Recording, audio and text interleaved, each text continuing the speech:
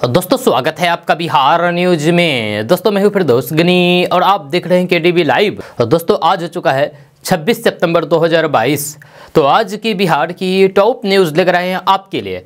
और दोस्तों, video start करने से पहले आपसे रिक्वेस्ट है। अगर आप नए आए हैं इस चैनल पर तो फिर चैनल को सब्सक्राइब करके बेल आइकन को प्रेस कर दीजिए और साथ में वीडियो को लाइक कर दीजिए, अपने दोस्तों के साथ शेयर भी कीजिए।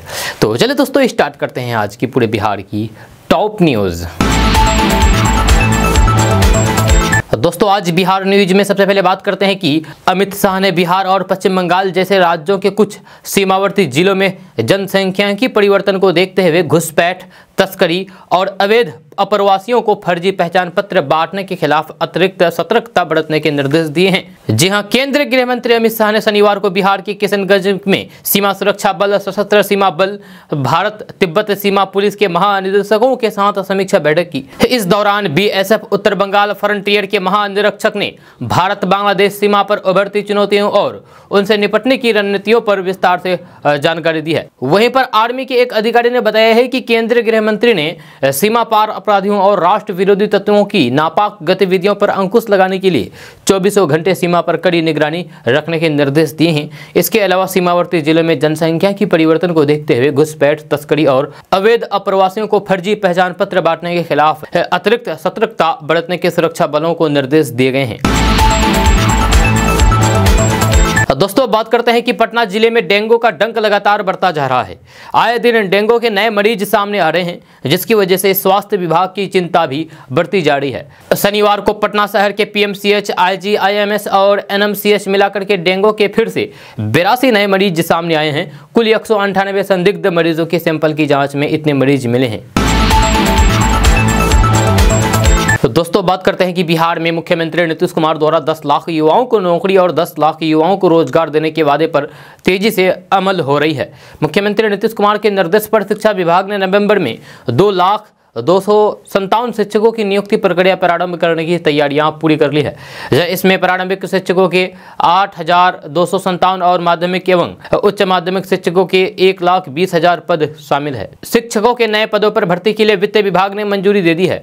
आकलन है कि नए शिक्षकों के वेतन पद सालाना पाँच हज़ार छह सौ तिरसठ करोड़ रुपए खर्च होंगे। इसमें प्रारंभिक शिक्षकों के वेतन की दो हज़ार दो सौ सात करोड़ और माध्यमिक शिक्षकों के वेतन की तीन हज़ार चार सौ छप्पन करोड़ रुपए सम्मिलित है। शिक्षा विभाग ने सातवें चरण की शिक्षक नियोजन की समय सारणी को अंतिम रूप दे दिया है। पंद्रह नवंबर तक शिक्षक नियोजन की अधिसूचना प्रस्तावित है। और दोस्तों, बात करते हैं कि बिहार में मानसून अपने चरम पर है। जब मौसम विभाग ने उत्तर और पूर्व बिहार के पाँच जिलों में आज सोमवार को भारी बारिश की चेतावनी जारी की है, जब साथ ही पूरे बिहार में वज्रपात का अलर्ट जारी किया गया है, आज सोमवार को सभी जिलों में कहीं कहीं ठनका गिरने का भी खतरा बना रहेगा, जहाँ लोगों से सावधान रहने की अपील की गई है। पटना मौसम विज्ञान केंद्र के ताज़ा अनुमान के मुताबिक, आज सोमवार को पूर्वी चंपारण, वैशाली, अररिया, पूर्णिया और कटिहार ज़िले के कुछ हिस्सों में भारी बारिश होने की आशंका है। इसके अलावा बेतिया, गोपालगंज गोपालगंज सिवान और छपरा में भी तेज बारिश की संभावना है। जब पटना, मुजफ्फरपुर, दरभंगा, मधुबनी, सीतामढ़ी समेत उत्तर बिहार के अन्य जिलों में भी पानी गिर सकता है। वही मौसम विभाग ने आज पूरे बिहार में वज्रपात का येलो अलर्ट जारी कर दिया है। जहाँ बिहार के सभी जिलों में कहीं कहीं ठनका गिरने की आशंका बनी रहेगी। जहाँ लोगों से खराब मौसम में पक्की इमारतों की शरण लेने और प्रिपेयर एवं खम्भों के नीचे नहीं खड़ा रहने की अपील की है। दोस्तों, बात करते हैं कि बिहार के मुजफ्फरपुर ज़िले में एक हैरान कर देने वाला मामला सामने आया है। यहाँ पेट दर्द का इलाज कराने के लिए एक निजी नर्सिंग होम में गई एक महिला की दोनों किडनी निकाल ली गई। जी हाँ जिसके बाद प्रीता सुनीता देवी 15 सितंबर से पटना के इंदिरा गांधी आयुर्विज्ञान संस्थान, यानी कि आई की आईसीयू में डायलिसिस पर है।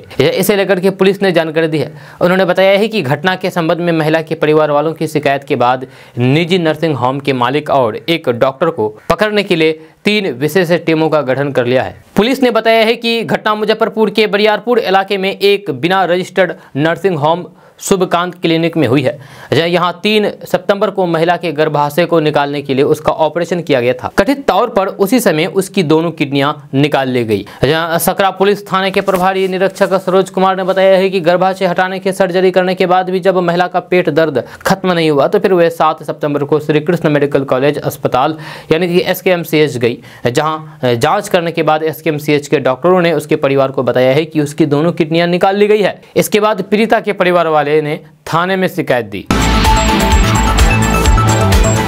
दोस्तों, लालू नीतीश की दोस्ती पर सीताराम येचुरी ने कहा है कि महागठबंधन ही भाजपा के खिलाफ असली फ्रंट है। जी हाँ सीपीएम महासचिव सीताराम येचुरी ने कहा है कि भाजपा को हटाने के लिए सभी विपक्षी दलों को एकजुट होना पड़ेगा। आज़ादी के आंदोलन के दौरान जैसे सभी ने एकजुट होकर के अंग्रेज़ों का मुकाबला किया था, ठीक वैसे ही अभी स्थिति है। सीपीएम महासचिव सीताराम येचुरी ने कहा कि मुख्यमंत्री नीतीश कुमार का भाजपा का साथ छोड़कर के आरजेडी और वाम दलों के साथ सरकार बनाना देश में बड़े बदलाव की शुरुआत है।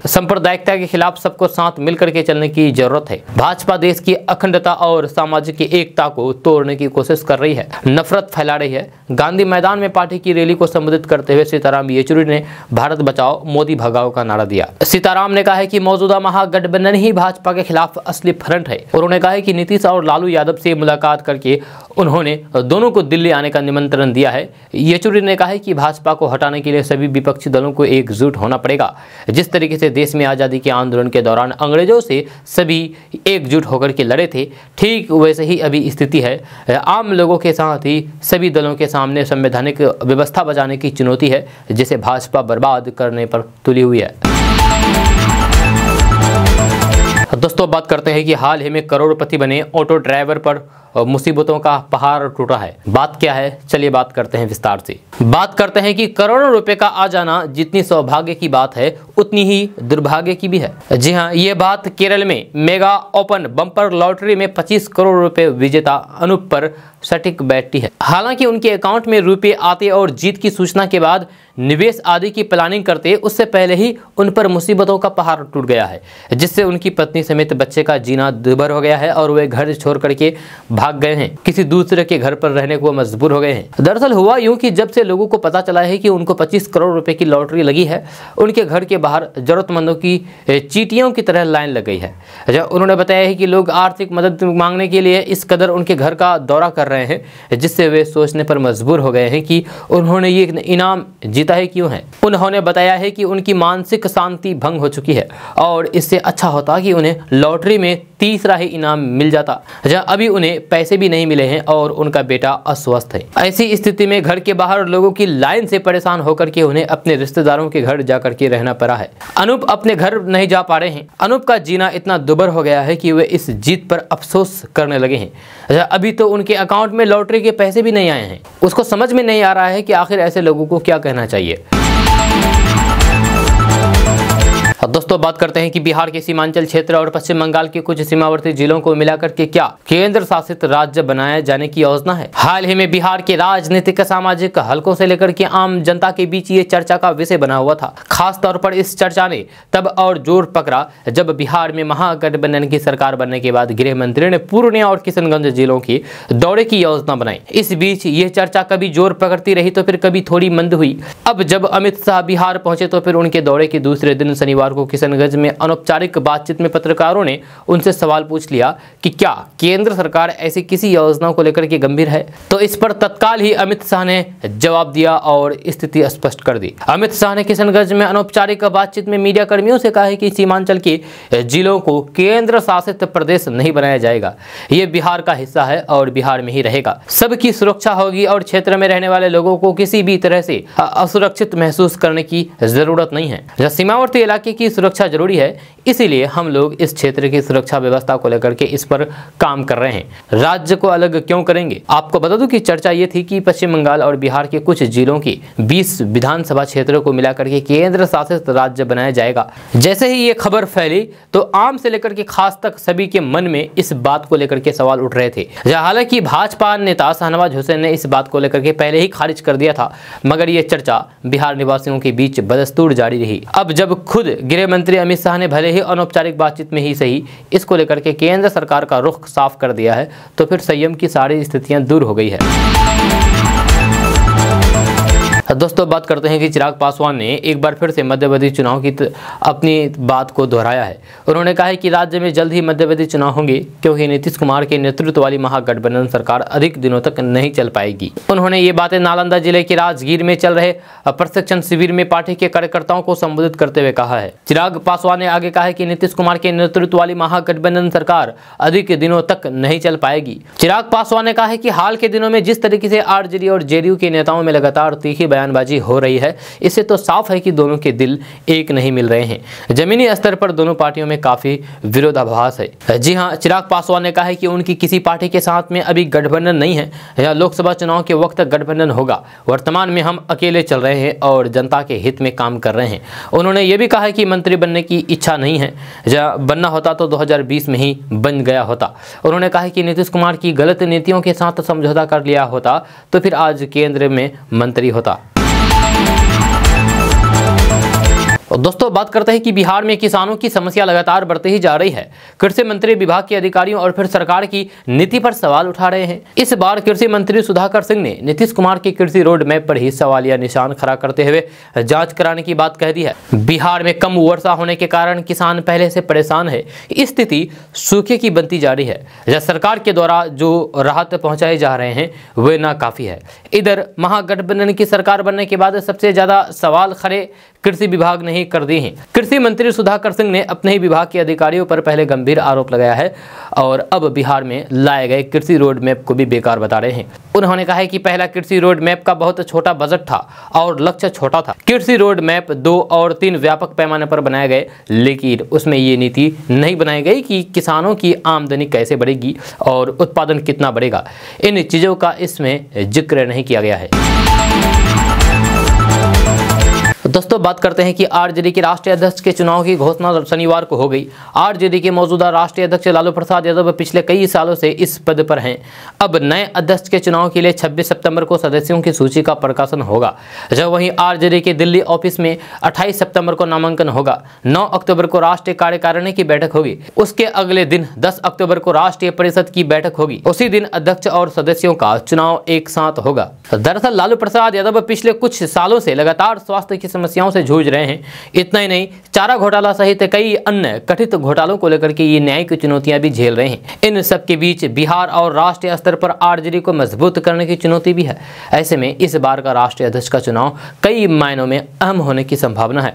विशेष करके लालू प्रसाद यादव के बाद पार्टी की कमान अब कौन संभालेगा, ये बड़ा प्रश्न है। जहाँ साथ ही साथ उप मुख्यमंत्री तेजस्वी यादव को लालू प्रसाद यादव अपना उत्तराधिकारी बनाकर के पार्टी की कमान सौंपते हैं या फिर किसी अन्य को ज़िम्मेदारी मिलती है ये भी बेहद अहम होगा। खास करके आरजेडी में लालू परिवार से बाहर का कोई भी व्यक्ति पार्टी की कमान संभालता है तो फिर ये अपने आप में बेहद खास होगा। वैसे पिछले दिनों ही तेजस्वी यादव ने इसी मुद्दे पर कहा था कि वे चाहते हैं कि आरजेडी अपने संस्थापक लालू प्रसाद यादव के नेतृत्व में ही आगे बढ़े। ऐसे में उनका ये बयान बेहद अहम माना जा रहा है। हो सकता है कि पार्टी की कमान एक बार फिर से लालू प्रसाद यादव के ही हाथ में रह, रह जाए। पार्टी से जुड़े सूत्रों का कहना है कि इसकी पूरी संभावना है।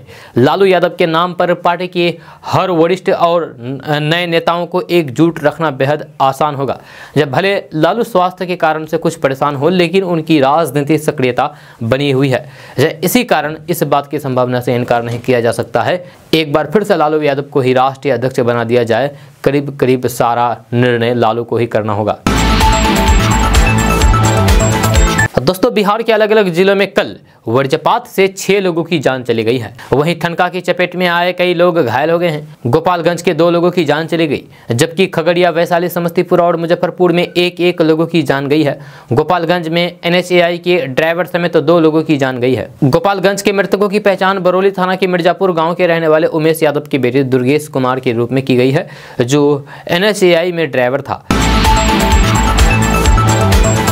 दोस्तों, बात करते हैं कि बिहार के छपरा में यूपी के स्वर्ण व्यवसाय से हुए लूटकांड का हैरान कर देने वाला खुलासा हुआ है। इस घटना को अंजाम किसी और ने नहीं, बल्कि खुद बिहार पुलिस के जवानों ने दी थी। जी हाँ, इस मामले में पटना से बिहार पुलिस की बीएसएफ विंग के दो जवानों की गिरफ्तारी हुई है। दरअसल, पिछले पाँच सितंबर को स्वर्ण व्यवसाय से सोने की लूट की गई थी, जिसे पुलिस ने अब बरामद कर लिया है। हैरत की बात यह है कि पुलिस जवानों ने ही वर्दी में व्यवसाय से साठ लाख रुपए के सोने के गहने और पाँच लाख रुपए कैश लूट लिए थे। फ़िलहाल दो आरोपी जवानों को गिरफ़्तार किया गया है, जबकि अन्य आरोपियों की तलाश जारी है। जवानों की गिरफ्तारी के बाद हर कोई हैरान है कि जिसे लोगों की सुरक्षा के लिए तैनात किया गया है, उसी ने इस तरीके का अपराध किया गया। जी हाँ यानी कि पुलिस ही चोर बन गई। जब मामला पाँच सितंबर का है। इस दिन छपरा के भगवान बाज़ार थाना इलाके में जेल गेट के पास कारोबारी से 60 लाख रुपए गहने और 5 लाख कैश लूट लिए गए थे। स्वर्ण व्यवसायी यूपी के बरेली के रहने वाले हैं। आखिरकार छपरा की स्पेशल पुलिस टीम ने शनिवार को ये सफलता हासिल की है और पुलिस वाले गुंडा को पकड़ लिया है। पुलिस वाले चोर को पकड़ लिया है। दोस्तों, बात करते हैं कि बिहार के डिप्टी सीएम तेजस्वी यादव गोपालगंज जिला वासियों को जमकर के सौगात दी है। जहाँ इस दौरान उन्होंने अपने गृह जिला गोपालगंज के मॉडल सदर अस्पताल में 500 बेड का अस्पताल बनाने के लिए आधारशिला रखी। इस दौरान उप मुख्यमंत्री तेजस्वी यादव ने कहा है कि महागठबंधन सरकार बनने के बाद आज हमारा आगमन गोपालगंज ज़िले में हुआ है। बचपन से हम थावे का आशीर्वाद लेते आ रहे हैं। हमारे गोपालगंज के सांसद विधायक चाहते थे कि यहाँ पर काम तेज़ी से हो।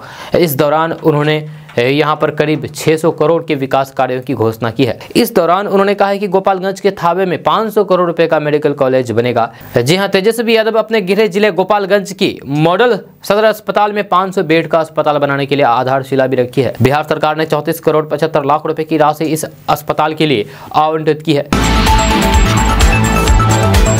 दोस्तों, बिहार सरकार के कृषि विभाग के फार्मा हाउस में रात में शराब और शबाब की पार्टी चल रही थी। गुप्त सूचना पर एसपी डॉक्टर कुमार आशीष के निर्देश पर पुलिस ने फार्मा हाउस पर रेड मार करके कृषि विभाग के बड़ा बाबू, एक डीलर सहित दो महिला को पुलिस ने गिरफ़्तार किया है। दोनों महिला मुजफ्फरपुर की बताई जा रही है, जब वहीं पुलिस ने बड़ा बाबू और डीलर का मेडिकल जाँच करवाया है। मेडिकल जाँच में शराब की पुष्टि होने की बात पुलिस बता रही है। मामला पीपरा कोठी थाना क्षेत्र के कृषि फार्म हाउस का बताया जा रहा है। पुलिस हिरासत में लिए गए चारों आरोपियों से पूछताछ में जुटी हुई है। मिली जानकारी के मुताबिक मोतिहारी जिला के पीपरा कोठी कृषि विभाग के फार्म हाउस में शराब और शबाब की पार्टी चल रही थी। इसी बीच पुलिस ने गुप्त सूचना के आधार पर कृषि विभाग के बड़ा बाबू विनोद सुमन के साथ एक डीलर नगीना पासवान को शराब के नशे में गिरफ़्तार कर लिया है। जब वही मुजफ्फरपुर से आई दो महिला को भी हिरासत में लिया गया है। दोस्तों, बात करते हैं कि बिहार के सुपौल में फिर से एक पत्रकार की हत्या का मामला सामने आया है। जी हाँ बिहार के सुपौल से एक बड़ी खबर सामने आ रही है।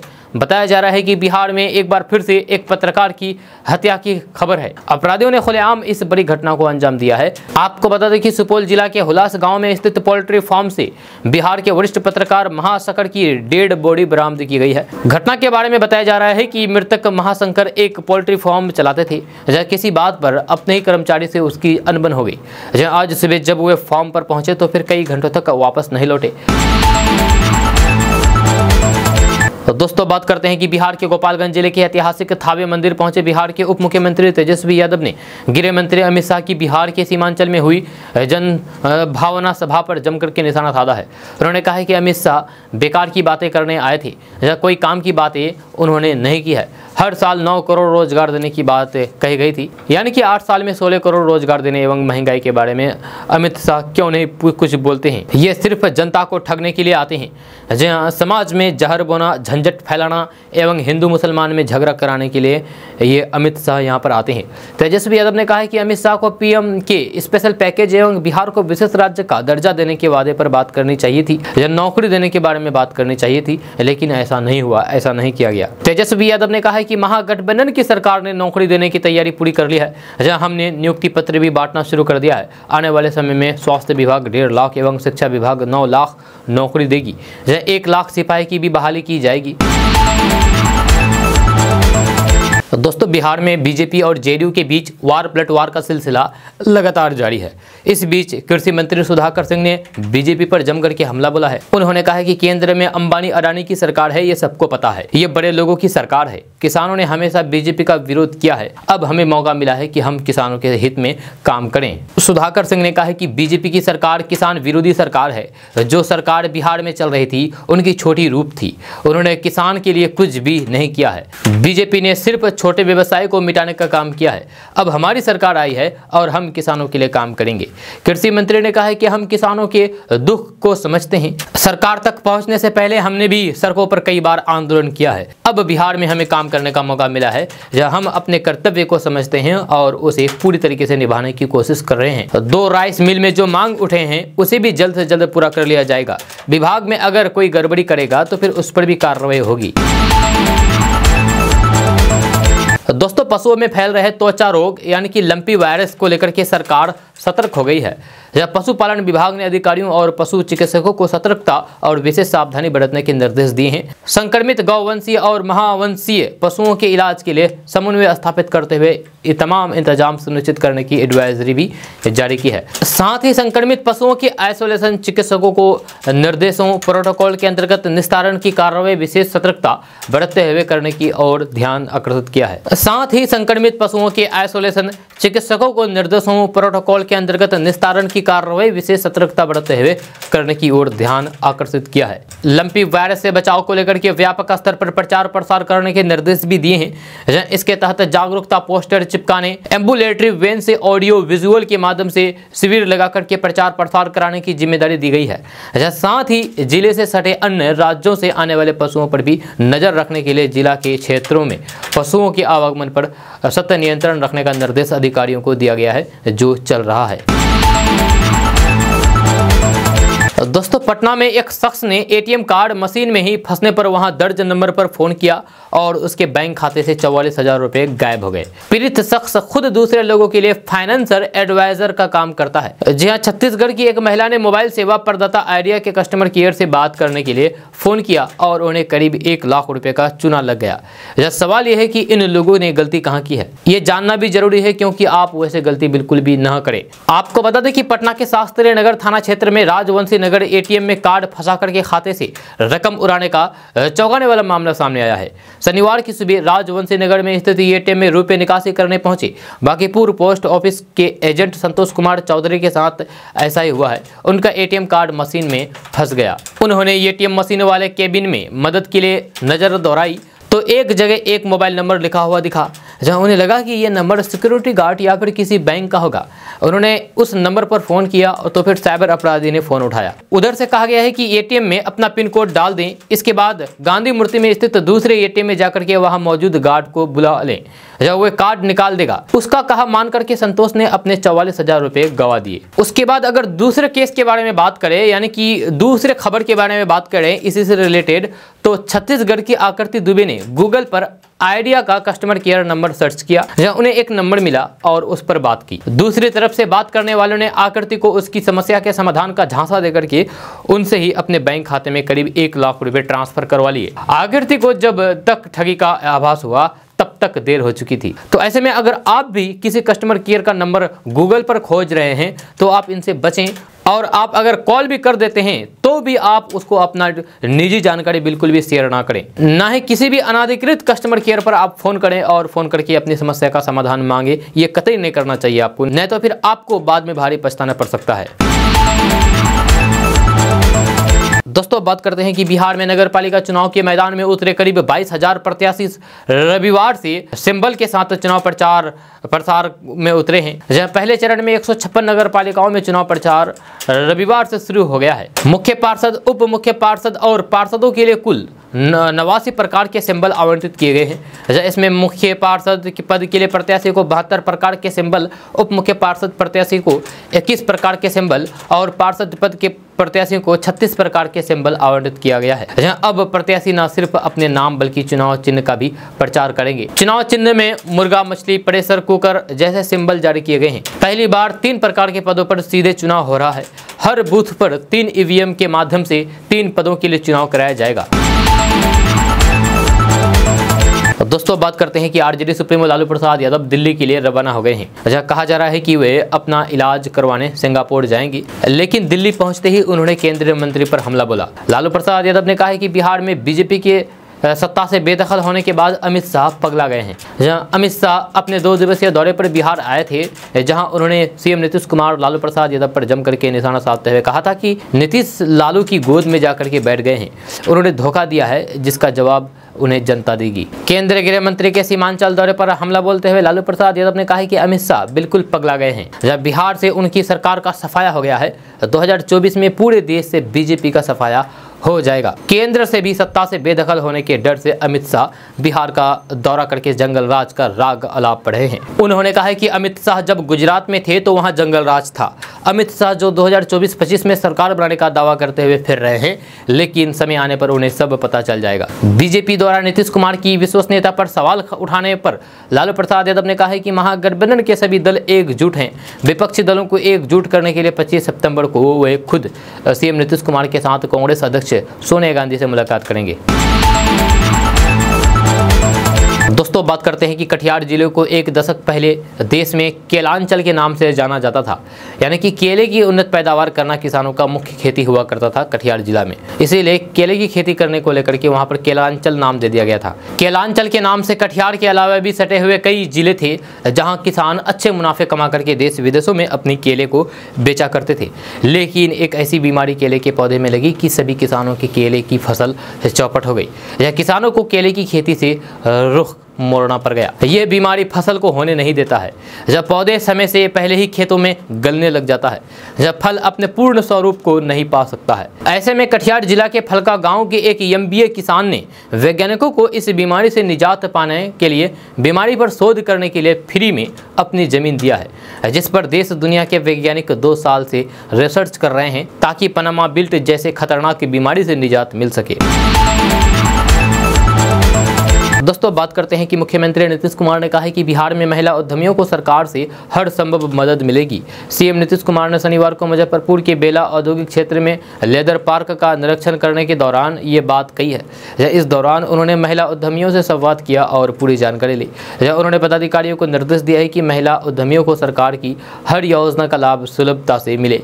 इसे सुनिश्चित करें। बाद में उन्होंने मोतीपुर में निर्माणाधीन एथेनॉल प्लांट का भी जायजा लिया। महिला उद्यमियों से संवाद के दौरान मुख्यमंत्री नीतीश कुमार ने कहा कि हम लोगों ने जीविका समूह का निर्माण कराया और 2006 में मुजफ्फरपुर में ही पहली बार जीविका दीदियों से मिलने गए थे। जीविका दीदियाँ काफ़ी बढ़िया काम कर रही है। दस लाख से अधिक स्वयं सहायता समूह का गठन किया गया है। मुख्यमंत्री उद्यमी योजना के अंतर्गत महिला उद्यमियों को भी दस लाख रुपए तक की सहायता दी जा रही है। इसमें से पाँच लाख रुपए का अनुदान तथा पाँच लाख रुपए ब्याज मुक्त ऋण उपलब्ध कराए जा रहे हैं। इससे महिला को रोज़गार में बढ़ावा मिलेगा और उनकी आमदनी बढ़ेगी ये कहना है सीएम नीतीश कुमार का। सीएम नीतीश कुमार ने कहा है कि हम लोग चाहते हैं कि सभी लोगों को रोज़गार मिले। बिहार के बाहर 40 जीविका दीदियों को प्रशिक्षित करा करके लेदर क्लस्टर से जोड़ा गया है। उन्होंने कहा कि मुख्यमंत्री उद्यमी योजना के अंतर्गत उन्हें दस लाख रुपए की सहायता दी जा रही है। दोस्तों, बात करते हैं कि बिहार के डिप्टी सीएम तेजस्वी यादव राजनीति से लेकर के पारिवारिकता निभाने में भी हमेशा एक्टिव रहते हैं। जहाँ कल वे अपने गाँव फुलवड़िया गए थे, जहाँ उन्होंने अपनी दादी की प्रतिमा पर मालार्पण किया।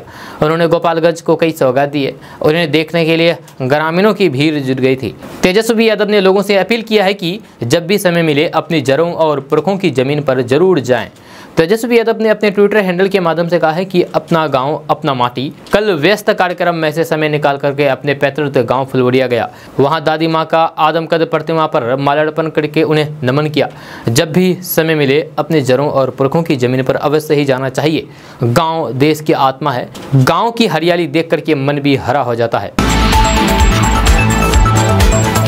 दोस्तों, बात करते हैं कि दुर्गा पूजा को लेकर के पटना जिला प्रशासन ने बड़ा फैसला किया है। इस बार दुर्गा पूजा के बाद होने वाली विसर्जन यात्रा के दौरान किसी भी मूर्ति का विसर्जन गंगा नदी में नहीं किया जाएगा। इसको लेकर के विधिवत पटना प्रशासन की ओर से आदेश जारी कर दिया गया है। यह कोतवाली थाना परिसर में शनिवार को दशहरा पूजा और नगर निकाय चुनाव को लेकर के शांति समिति की बैठक हुई। बैठक को संबोधित करते हुए एसडीएम और डीएसपी संजय कुमार ने कहा है कि सभी समिति लाइसेंस शीघ्र प्राप्त कर लें। जब पहले से निर्धारित रूट से ही विसर्जन जुलूस निकाली जाएगी। गंगा नदी में मूर्तियों का विसर्जन नहीं किया जाएगा। डीजे पर प्रतिबंध रहेगा। सभी पूजा समिति पंडाल के पास अपना अपना नियंत्रण कक्ष बनाएँगे।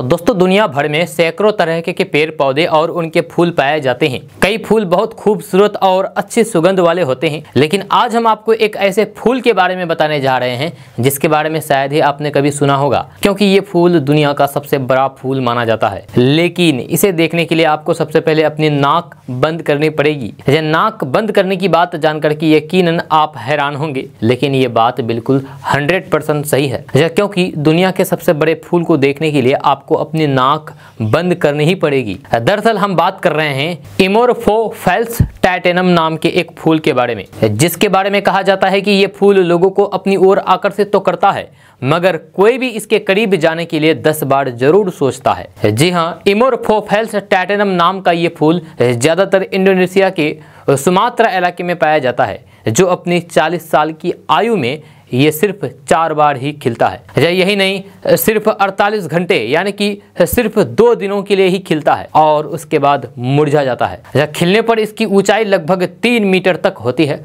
जो किसी इंसान की ऊंचाई से भी ज़्यादा है। इस प्रजाति के फूल के सुर्खियों में आने के बाद दुनिया के कई देशों ने इसे अपने अपने देशों में जगह दी है और इसके खिलने पर उस जगह लोगों की भीड़ उमड़ जाती है। आपको बता दूँ कि दुनिया के सबसे बड़े फूल का दर्जा प्राप्त कर चुके इस फूल से ऐसी खुशबू नहीं आती है कि लोग इसके पास ना चाहते हुए भी पहुँच जाए, बल्कि इस फूल से ऐसी दुर्गंध, यानी कि गंध आती है, जैसे सड़े हुए मांस से आती हो। इसीलिए इसे देखने के लिए लोगों को पहले अपनी नाक बंद करनी पड़ती है। इसीलिए इस फूल को दुनिया के सबसे बदबूदार फूल के रूप में भी जाना जाता है। पिछली बार ये फूल जापान के टोक्यो में स्थित जिंदई बोटेनिकल गार्डन में खिला था। टाइटेनम की इस प्रजाति को दुनिया की सबसे संवेदनशील प्रजाति की सूची में शामिल किया गया है। दोस्तों, स्कूल में मुस्लिम बच्चों से भजन गवाने और सूर्य नमस्कार करने पर रोक लगाने की मांग उठने लगी है। जी हाँ मुतहिद मजलिस उलेमा, यानी कि एमएमयू ने कश्मीरी स्कूलों में मुस्लिम छात्रों के भजन गाने और सूर्य नमस्कार करने पर चिंता जताई है। संगठन ने कहा है कि घाटे में हिंदुत्व के एजेंडे को आगे बढ़ाने के उद्देश्य से स्कूलों और शैक्षणिक संस्थानों के ज़रिए लागू की जा रही गतिविधियों पर रोक लगनी चाहिए। आपको बता दो की एम करीब तीस धार्मिक, सामाजिक और शैक्षणिक संगठनों वाला ऑर्गेनाइजेशन है एमएमयू ने एक बयान में कहा है कि स्कूलों और दूसरे शैक्षणिक संस्थानों में मुस्लिम छात्रों को हिंदू धार्मिक गीत गाने और सूर्य नमस्कार करने के लिए कहा जा रहा है। ये कश्मीर की मुस्लिम पहचान को कमतर करने की दुर्भाग्यपूर्ण कोशिश है। इस मामले को लेकर के हमने श्रीनगर की जामा मस्जिद में बैठक की इसमें कहा गया है कि ये फरमान मुस्लिमों की धार्मिक भावनाओं को आहत पहुंचाते हैं और उनमें आक्रोश पैदा करते हैं। संगठन ने कहा है कि बैठक के दौरान सर्वसम्मति से एक प्रस्ताव पारित किया गया है और संतों की घाटी की मुस्लिम पहचान को कमज़ोर करने पर गंभीर चिंता जताई है। जब मीटिंग के दौरान ये फैसला हुआ है कि इस तरह की गतिविधियों पर जल्द से जल्द रोक लगनी चाहिए यानी कि स्कूलों में सूर्य नमस्कार और भजन गाने पर रोक लगनी चाहिए। आपको बता दें कि हाल ही में एक वीडियो सोशल मीडिया पर वायरल हुआ था, जिसमें एक सरकारी स्कूल के छात्रों को रघुपति राघव राजा राम गाते हुए देखा गया था। एमएमयू ने अभिभावकों से अनुरोध किया है कि अगर उनके बच्चों को सरकारी स्कूलों में गैर इस्लामिक गतिविधियों में भाग लेने के लिए विवश किया जाता है, मजबूर किया जाता है तो फिर उन्हें अपने बच्चों को इन स्कूलों से निकाल करके उनका निजी स्कूलों में दाखिला करवाना चाहिए। दोस्तों, आपने प्यार, मोहब्बत और शादी के ढेर सारे किस्से सुने होंगे, लेकिन हम आपको जो अभी बताने जा रहे हैं, ये बिल्कुल मामला सबसे अलग है। जब वैसे ये कहानी सुनकर के सबको थोड़ा फिल्मी लगे। लेकिन ये सच्चाई है। दरअसल बॉलीवुड की तरह एक पत्नी ने अपनी पति की शादी उसकी पुरानी गर्लफ्रेंड से करवा दी। साथ ही शादी समारोह के दौरान पत्नी लगातार मौजूद रही, इतना ही नहीं अब ये तीनों एक साथ एक घर में ही रहेंगे। ये मामला आंध्र प्रदेश के तिरुपति का है। यहाँ के डक्कली के अंबेडकर नगर के रहने वाले कल्याण यूट्यूब और शेयर चेट पर खासे लोकप्रिय हैं। कुछ साल पहले कल्याण की मुलाकात विमला से हुई। धीरे धीरे इन दोनों की दोस्ती प्यार में बदल गई और फिर शादी कर ली। कल्याण और विमला एक साथ मिलकर के सोशल मीडिया प्लेटफॉर्म पर वीडियो बनाने लगे, कुछ साल के बाद इन दोनों के रिश्तों में दरारें आने लगी। दरअसल इस कहानी में विशाखापट्टनम की एक नित्याश्री नाम की लड़की की एंट्री हो जाती है। आपको बता दें कि वे भी सोशल मीडिया पर वीडियो बनाती थी। कल्याण और नित्या के रिश्ते कुछ साल पहले टूट गए थे। इसके बाद कल्याण ने विमला से शादी कर ली। लेकिन जब नित्या को इस शादी के बारे में पता चला तो फिर वे उसके घर पहुँच गई। जब नित्या श्री को पता चला कि कल्याण की शादी हो गई है तो उसने विमला से हाथ जोड़ करके अनुरोध किया है कि वे उससे शादी करने की अनुमति दें। जब उसने और कल्याण ने यह प्रस्ताव भी रखा है कि वे तीनों एक ही छत के नीचे रहेंगे। एक ही कमरे में, एक ही घर में रहेंगे। जब लंबे समय तक विचार करने के बाद विमला ने उसके प्रस्ताव पर सहमति जता दी और यहाँ तक कि सभी पारंपरिक रीति रिवाजों के साथ एक मंदिर में अपने पति के साथ नित्याश्री की शादी को भी अंजाम दिया। तीनों ने तस्वीरें भी ली जो सोशल मीडिया पर अब वायरल हो रहा है। दोस्तों, बात करते हैं कि बिहार के गोपालगंज के थावे मंदिर में चप्पल पहन करके जाने पर उप मुख्यमंत्री तेजस्वी यादव पर भाजपा जमकर के बवाल मचा रही है।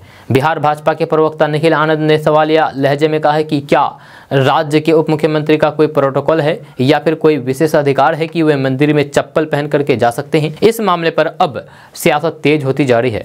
ट्विटर पर पोस्ट किए गए वीडियो में तेजस्वी यादव चप्पल पहन करके मंदिर परिसर में जाते हुए नज़र आ रहे हैं, जबकि उनकी सुरक्षा में लगे अफसर और पुलिसकर्मी नंगे पाँव दिख रहे हैं। बिहार भाजपा के प्रवक्ता निखिल आनंद ने इस मामले पर उप मुख्यमंत्री तेजस्वी यादव पर जमकर के हमला बोला है। उन्होंने ट्वीट में लिखा है कि जब सुरक्षाकर्मी और अन्य सहयोगी खाली पैर मंदिर परिसर में गए थे तो फिर चप्पल पहनने की विशेष सुविधा लेने की तेजस्वी की क्या मंशा थी? आपको बता दो कि उप मुख्यमंत्री तेजस्वी यादव ने शनिवार को गोपालगंज के थावे मंदिर गए, में दर्शन पूजा करने के लिए गए थे। मंदिर परिसर में चप्पल पहन करके जाने पर सियासत तेज हो गई है। पोस्ट किए गए वीडियो में तेजस्वी यादव चप्पल पहने हुए नज़र आ रहे हैं, जबकि साथ के अन्य लोग और सुरक्षाकर्मी नंगे पाँव दिख रहे हैं।